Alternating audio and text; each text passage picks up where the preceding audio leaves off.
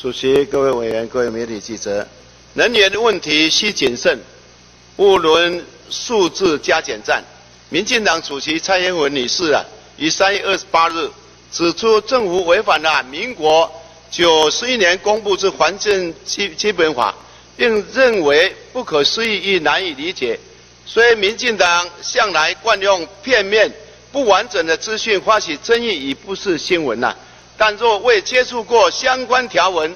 啊，致社会大众乃可能遭受这些偏颇资讯的蒙蔽。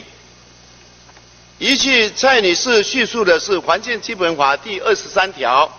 啊，政府应订定计划，逐步达成灰核家园目标，并应加强核能安全管制。辐射防防护、放射性物料管理及环境辐射侦测，确保民众生活避免辐射危害。因此，呃，认定政府违反法律，却忽略了同为环境基本法的第二十一条，各级政府应积极采取二氧化碳排放抑制的措施，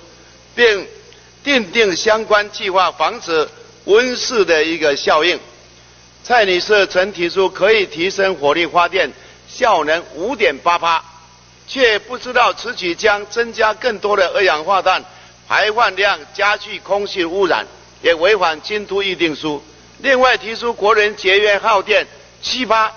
但却不知道随着近年来气候的变迁，国人数位商品冬季暖气设施使用量增加，用电量创屡创。新高的一个环境之下，蔡女士仅以模糊的概念、呃口号来奠定政府未来重要的政策方向，令人啊堪忧。确实，任何国家都不愿意以具污染性的能源啊为最终发展的目标。但是，台湾在未有取代核电之替代能源下，现实用环境的用电环境的考量，却也是决策人物。与专家所要平衡的一个重点，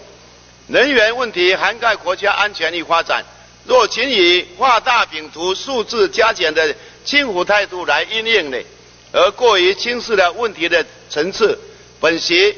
啊认为行政部门应以现实、专业层面来拟定可行的替代能源的时间表，